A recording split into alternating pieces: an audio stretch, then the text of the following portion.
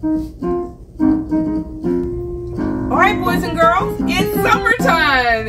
And yes, we're having oceans of possibilities at your local library. So join us.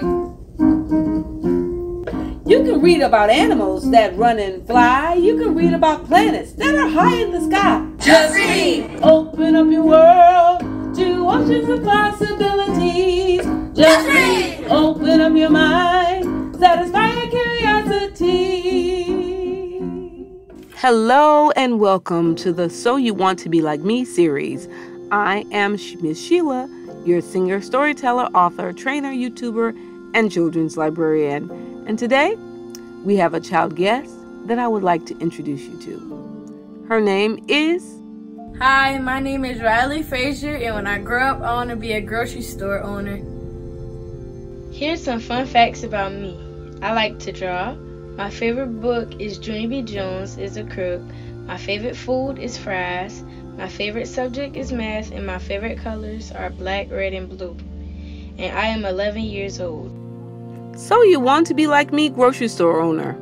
Here's our guest Eric J. Campbell, childhood friend and an all around good guy. He is the owner of Foodland in Walterboro, South Carolina. Now, let's hear from him. Hello, I am Eric J. Campbell, the owner of Foodland here in Walterboro. What advice would you give me to be a grocery store owner? It's fulfilling to be able to help others and treat our customers the way we want to be treated. Do you love your job? Yes, Rylee, I love the opportunity I get every day to brighten up someone's day with a great smile. Posted inside the store are the words Need a smile today? Stop by and see Eric J. Here's a fun fact 64% of U.S. consumers have done grocery shopping online. What do you need to do to be a grocery store owner? So, Rylee, here's what you need to do to become a grocery store owner high school diploma and a college degree, a lot of retail experiences are needed, great communication skill, and excellent math skills. Here's a fun fact the average shopping trip takes 41 minutes. What character traits do I need to have to be a grocery store owner? I will give you three character traits that you need to be a grocery store owner. One, you must be friendly. Two, product knowledge.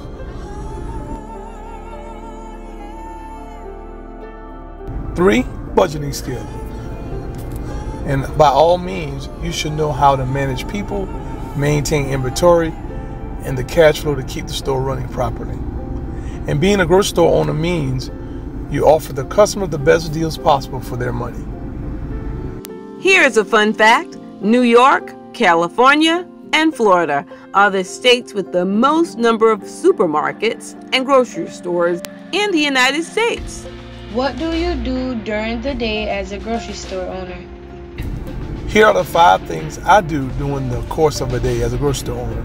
Number one, I inspect all the coolers, which include perishable foods like produce, meat, dairy, and frozen food.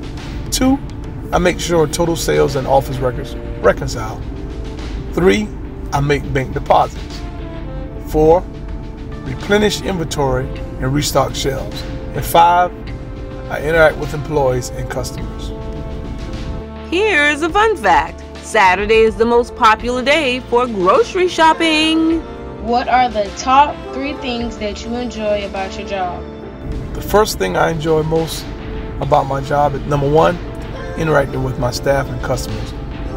The second thing is keep the store clean. Three, seeing satisfied customers. It is a wonderful store. It is clean. This guy is terrific. Thank His you. meats are good too. Thank you. we love coming here. I love having you. We come here all the time. you. I guess that's why his favorite thing is seeing his customers satisfied. Go, Eric. Here's a fun fact the average salary of a grocery store owner in the United States is $76,935 per year. How many hours a day do you put in as a grocery store owner? On an average day, I do at least nine hours. Here's a fun fact On average, multi person households spend $121.50 on groceries every week.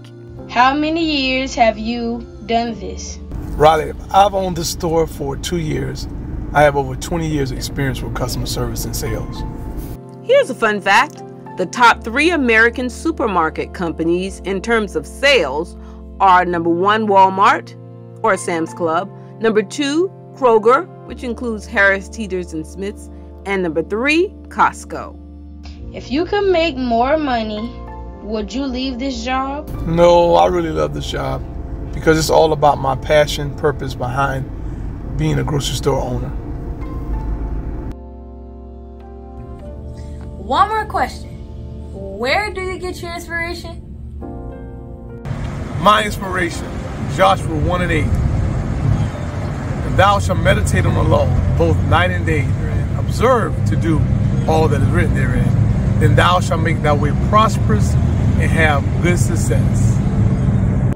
well said, Mr. Eric J. Campbell, a man of many talents. And a girl with many dreams, Rylee Frazier. Here's a fun fact the nation's top grocery chains accounted for over 48% of 2020 sales.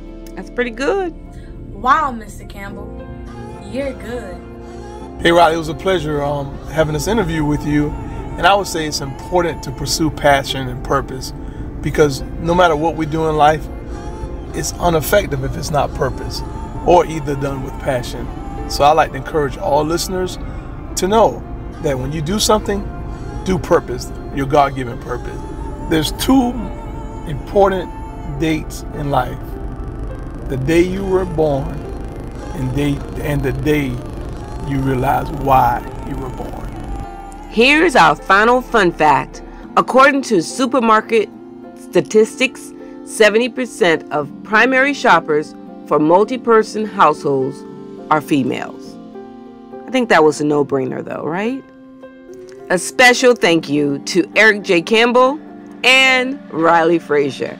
Now, if you want to know more about how you could be a grocery store owner, check out or scan all of these to learn more. We have the book Max Goes to the Grocery Store, we have a YouTube video, and we have a DVD. Credit goes to Eric J. Campbell, Rylee Frazier, L. Florence Oliver, and yours truly, Shiela M. Keaise. So you want to be like me, grocery store owner. For today. Didn't you learn a lot, boys and girls? I did. So make sure you stay tuned next Friday for another YouTube video. And remember, if you like this video, please like and subscribe. Us Green!